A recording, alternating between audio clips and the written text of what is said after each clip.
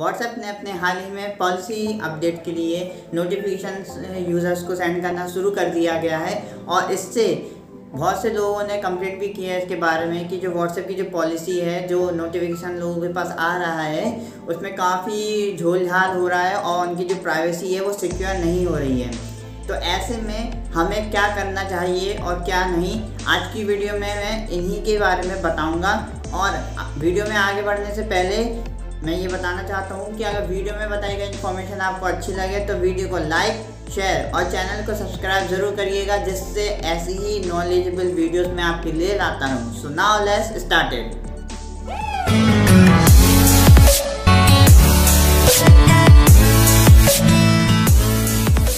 जैसे हम सब जानते हैं कि व्हाट्सएप ने अपने जो पॉलिसी है सिक्योरिटी पॉलिसी है उसको अपडेट किया है और इसका जो नोटिफिकेशन है वो सभी के पास जा, जा रहा है।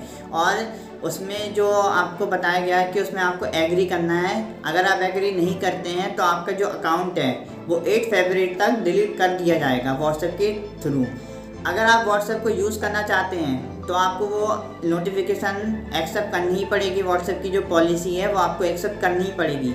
तो सबसे मेन पॉइंट ये है कि हमारी जो प्राइवेसी है, जो व्हाट्सएप के थ्रू जो उनकी जो पॉलिसी है, जो अपडेट की गई है, उसके हिसाब से हमारी प्राइवेसी वाकई में सेफ़ है या नहीं है?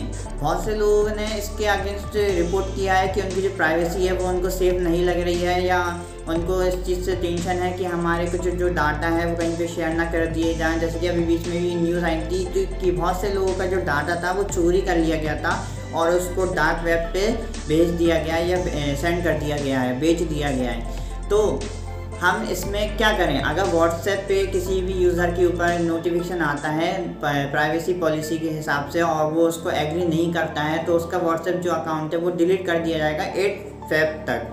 तो ऐसे में हमें क्या करना चाहिए? देखिए, पहली बात तो ये कि आपके लिए व्हाट्सएप पर्सनली हमारे सबके लिए बहुत ही यूज़फुल ऐप है। हम डेली अपने व्हाट्सएप अकाउंट को यूज़ करते हैं। अगर आपको इसमें कोई प्रॉब्लम है कि हाँ हमें व्हाट्सएप यूज़ करना है या नहीं करना है, या हमें पॉलिसी को एक्सेप्ट करना है या नहीं करना है। देखिए, अगर आप उस चीज़ को नहीं करना चाहते हो तो उसके ही सिमिलर में कुछ ऐप्स हैं, जैसे कि टेलीग्राम और एक Signal app Signal app India में व्हाट्सएप के अगेंस्ट ऑल्टरनेटिव ऐप माना जा रहा है और इसमें बहुत अच्छी तरीके से ग्रोथ की है। दो दिनों में ही सिग्नल ने व्हाट्सएप को हराते हुए प्ले स्टोर पर नंबर वन ऐप के पोजीशन को गेन कर लिया गया है। और एलोन मास्क ने भी सिग्नल ऐप के बारे में बताया है कि जो सिग्नल ऐप की जो सिक्योरिटी है, जो पॉलिसी है, वो काफ़ी बेटर है और उसमें डाटा जो शेयरिंग होती है, वो कहीं पे भी नहीं हो सकती है। उसकी जो सिक्योरिटी वो काफ़ी बेटर बताई गई है। तो अगर आप व्हाट्सएप को यूज़ नहीं करना चाहते हैं तो आप सिग्नल ऐप को भी यूज़ कर सकते हैं। मगर इसको यूज़ करने से पहले कोई कुछ बातें हैं जो आपको ध्यान में रखनी है, वो ये हैं कि जो व्हाट्सएप है सेम वैसे ही एक ऐप जो है सिग्नल ऐप भी है। दोनों ही मैसेजिंग के लिए यूज़ किए जाते हैं। हाँ एक जो डिफरेंस है दोनों ही ऐप में, वो ये है कि आपने देखा होगा कि व्हाट्सएप पे हम अपना जो चैट डाटा होता है, उसको बैकअप कर लेते हैं। गूगल ड्राइव में या उसमें हमारी जो फ़ाइल लोकेशन होती है, उसमें हम उसका बैकअप बना सकते हैं। मगर ये ऑप्शन हमें सिग्नल ऐप में नहीं मिलेगा। उसमें ये ऑप्शन नहीं दिया गया है। आप बाकी सारी चीज़ें, जैसे कि हम व्हाट्सएप पे जो भी audio file video file document जो भी हम उसमें शेयर करते हैं सेम वही चीज़ आपको सिग्नल ऐप पे भी मिल जाएगी। आप उस पर भी यही सारी चीज़ें कर सकते हैं। तो इस, इसी वजह से व्हाट्सएप का जो ऑल्टरनेट है, वो सिग्नल ऐप को माना जा रहा है और उसने काफ़ी जल्दी ग्रोथ इंडिया में करी है। प्ले स्टोर पे। तो अगर आप वाकई में पॉलिसी को व्हाट्सएप की पॉलिसी को एक्सेप्ट नहीं करना चाहते हैं, या आपको उससे कोई भी प्रॉब्लम है या कुछ है तो आप सिग्नल ऐप का यूज़ कर सकते हैं।